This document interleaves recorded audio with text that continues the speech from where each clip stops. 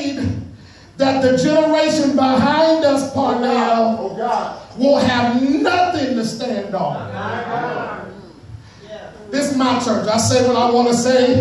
You can barely find a pastor who don't want to be famous. Amen. Come on, say it. Amen. Come on. Comb the city yourself. I'll let you do 30 day tests.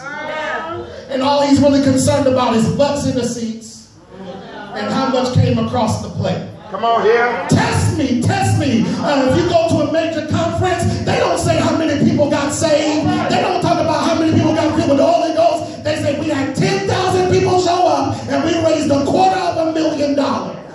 Can you please tell me is how does that fare with the day of Pentecost? Wow, my God. Do be saying. Because when the Holy Ghost fell, money didn't matter no more. On. They put everything in one pot, and whoever needed got to get some. And they didn't have to fill out no paperwork saying how what type of interest they was gonna pay it back with. Because the church has a problem, y'all not gonna like this, being homo. The church has a problem being homo. The church, you heard me right. I won't yell it so you hear me correctly. The church has a problem being homo. It is the Greek word which means the same.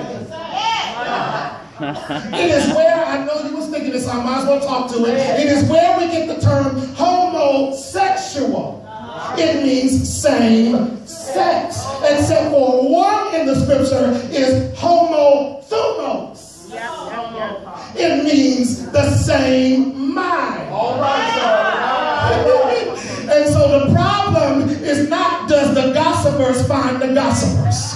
And do the adulterers find the adulterers? And since y'all thinking it, I might as well say it. And the homosexuals find the homosexuals. It is why do we come to one place with different minds? And the problem in the text is we can't get to Acts 2 and 2 until we've graduated through Acts 2 and 1. Yes, sir. Wow. Two and God is not the public school system where he will pass you and he know you don't know it. Come on here. I'm making plain. If you've ever going through one cycle after another, God is telling you, you didn't pass the test. So I'm sending it back around. Here it come again. Well, pass it this time, and you never have to take that no more. Because the church has a problem with being homothumos, having the same Mind. mind. And it's a miracle we've even made it this far because we got too.